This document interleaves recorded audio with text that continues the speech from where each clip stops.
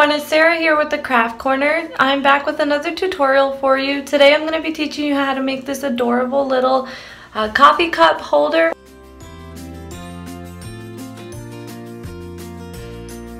I think it would be so cute to have in your kitchen or maybe for a coffee bar. So if you're interested in how I made this, keep on watching.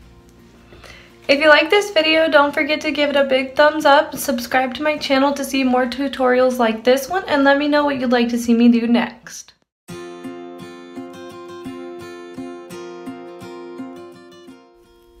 First I cut three pieces of pallet wood the same length. I sanded any rough edges and then I'm gluing some smaller pieces of wood to the back to hold it together.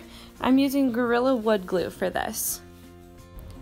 Please forgive the camera angle. I still need to get a tripod, so I had a little bit of trouble getting everything in the frame, but hopefully you can still see what I'm doing.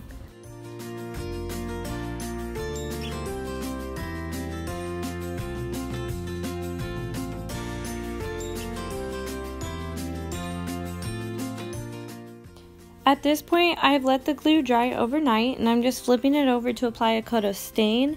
This part is optional. I decided to do it just because the wood is so light and new looking. I just wanted this to have a more rustic, older feel.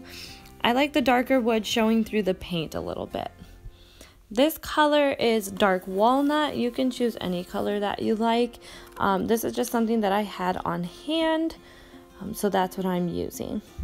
I recommend using gloves for this because the stain can be pretty difficult to clean off your hands. I'm using a blue paper towel from the automotive section of Walmart. I prefer using these over a cloth because I can just throw them away when I'm finished and not have to do any messy cleanup. They're thick enough that they don't leave any little fibers behind. Now we just wait for it to dry overnight.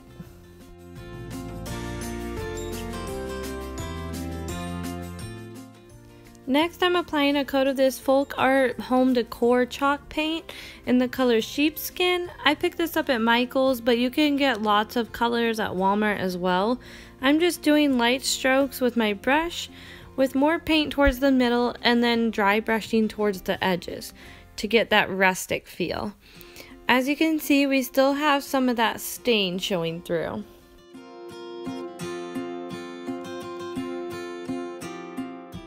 I picked up this stencil from Michaels and I'm just using a pencil to write the word coffee. Of course, if you're not a fan of coffee, you could always do tea or hot cocoa, or you could just leave it plain. I'd like to do a bigger one that says, My cup runneth over from the Bible verse. I think that would be really cute. I didn't really care about this looking perfect, so I just tried to line the letters up as best I could. Um, they didn't come out perfectly even, but for me that's okay. I think it gives it more of a rustic feel um, and a little bit more handmade. I prefer tracing the letters first and then filling them in as opposed to just uh, blotting the paint on top of the stencil because I feel it tends to bleed more underneath doing it that way.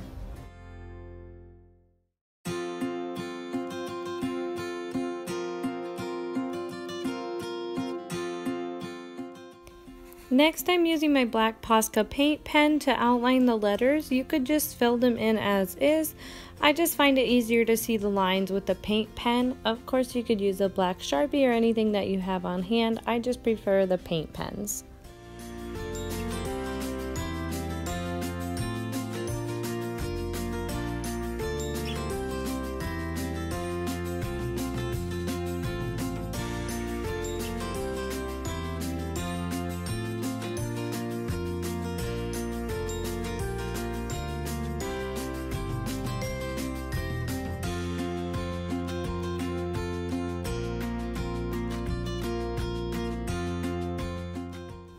I'm filling in the letters with a small angled brush using the Apple Barrel Matte Black Acrylic Paint from Walmart.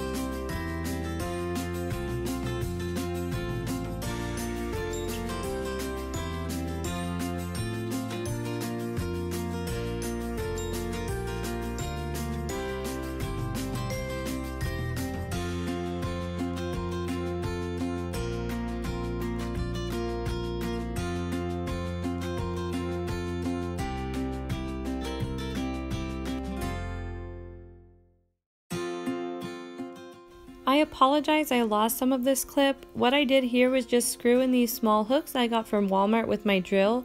They came six in a pack for I believe around $6. Before doing this, I did add some hanging hardware to the back. You do want to make sure that you do two hooks level across the back as opposed to one in the middle because the weight will shift if you take the mugs on and off. Here is the finished product. If you like this video, don't forget to like my Facebook page. I have linked down in the description below. And don't forget to tell me what you'd like to see me do next. Thanks for watching. Bye.